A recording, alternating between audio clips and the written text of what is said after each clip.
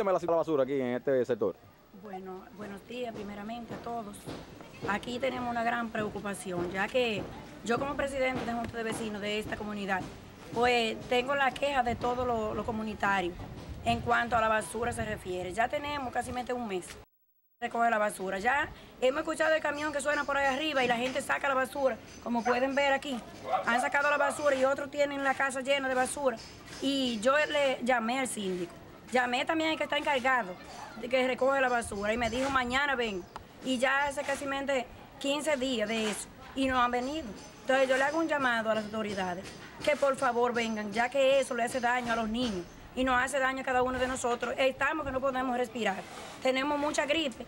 Entonces, yo tengo que responderle a las autoridades porque yo soy la que estoy aquí como vocera de la comunidad de la comunidad. Entonces yo espero que el ingeniero Naomena se preocupe por nosotros, que entienda que eso es un gran mal que nos, está haciendo cada uno de nosotros. De tal manera que ya nosotros teníamos propuesto a reunirnos ayer a las, a las 3 de la tarde ¿Qué tienes tú que decir? Ay, mira, corazón, mira ese frente aquí que yo vivo, mira cómo está eso lleno de basura, estamos incómodos. El 24 de diciembre estamos con ese basurero ahí. Queremos que vengan y nos manden los camiones porque eso es un desorden de basura. Ya eso a mí hasta vergüenza me da cuando viene gente aquí a mi casa. Que ven ese basurero. Míralo ahí, tú lo puedes grabar. Eso está horrible. Que vengan y manden los camiones porque es vergüenza que estamos pasando con tanta basura y los patios llenos de, de saco también. Gracias. Gracias. Vaya a mi casa porque ustedes vean que desorden Anda de para allá, también para acá. También para acá. Vamos, vamos a grabar.